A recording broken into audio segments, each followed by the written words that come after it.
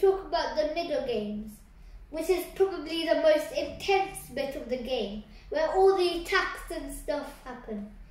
Wouldn't do you want to get in the middle game? Then develop and castle. Let's develop castle too. You can't forget the castling. And once you've done that, you're in the middle game. But maybe your opponent is not. You might be, but not your opponent. So if you, if only you are in the middle game, then you can stop attacking. If they are, then they can stop attacking. If you both are, then you both start attacking. So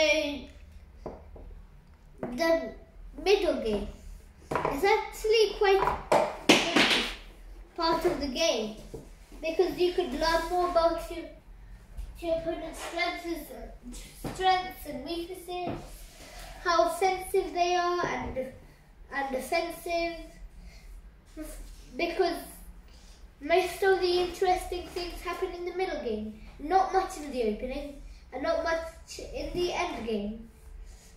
And you may be thinking in the end game, well, that's when the checkmating happens. But there could be checkmating in the opening, in the middle game. It's possible. Yeah, in the next chapter, we are going to talk about the